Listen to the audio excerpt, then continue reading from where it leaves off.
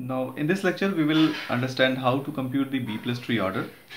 In the B plus tree the structure of the leaf node and the internal nodes are different. In the leaf node we are storing all the key values. All the data nodes are there in the leaf node. Obviously if there is a data node I need to search the record also. I will have to refer to the record with the data node. So with every leaf node there is a key value and the record address pair. fine now we link up every leaf node with each other. It means we need to have the address of the next node. Fine. We need to have the address of the next node also. So for address of the left, left node it means the address of a block. One node is going to be stored in the in the hard disk node. Another node is also going to be stored in the hard disk node. So if we are actually referring to the address of the next node it means that is a block address. Fine so key value and record address pair. Along with that the address of the next node. But there will be no child node address because in the leaf node there will be no child of the leaf node. There will be no, no child of the leaf node. M minus 1 key nodes m minus 1 record addresses and only one block address. Fine? So m minus 1 key nodes plus m minus 1 record addresses plus 1 block node is less than or equal to 512 fine. If you are putting in the same value uh, let's say every key of 2 bytes record addresses of 10 bytes block addresses of 14 bytes then we put up these values here m minus 1 into 2 m minus 1 into 10 bytes plus 14 bytes is less than or equal to 512 so this is 12m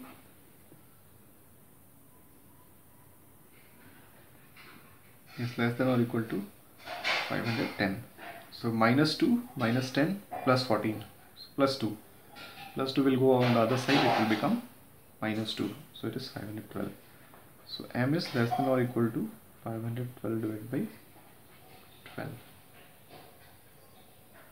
Fine. Okay, about the internal nodes. In the internal nodes, we do not store the record address pair because internal nodes are just the indexes. Internal nodes are not the data nodes, so we do not need to store the record addresses there. So in the internal node, the structure of the internal node will be, it will be keeping the key values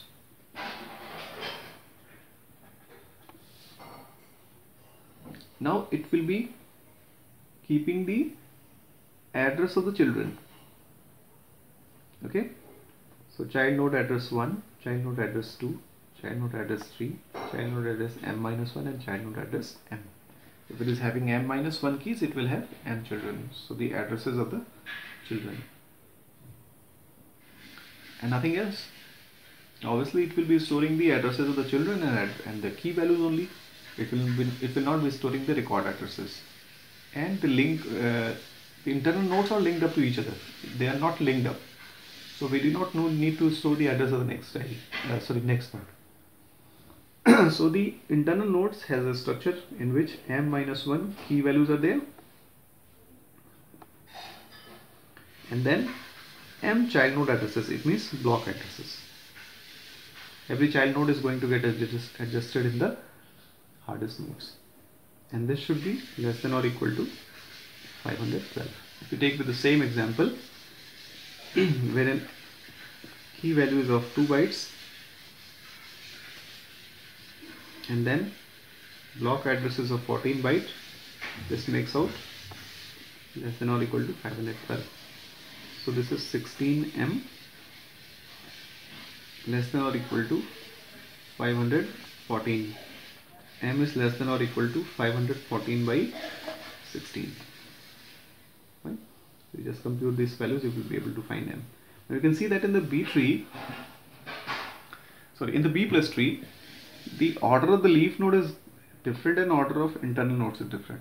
Although we can take the minimum of these two and we can build the b tree But uh, if you want to take the uh, design the B plus tree, then the order of leaf node and order of internal nodes can be made different.